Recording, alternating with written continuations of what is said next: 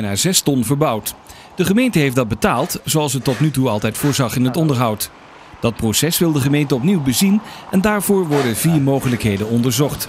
Eén scenario is de huidige subsidie handhaven en daarvan jaarlijks een gedeelte in het onderhoud stoppen. Het nadeel is dat het onderhoud dan ten koste gaat van de activiteiten voor jongeren. Een ander scenario is aanvullend subsidiëren aan de hand van het meerjarig onderhoudsplan. Ook wordt bekeken welke financiële gevolgen het heeft als de gemeente de accommodatie in eigendom neemt. Of misschien kan een andere partij in het onderhoud voorzien. De gemeente Uden zal zich hier de komende tijd over buigen.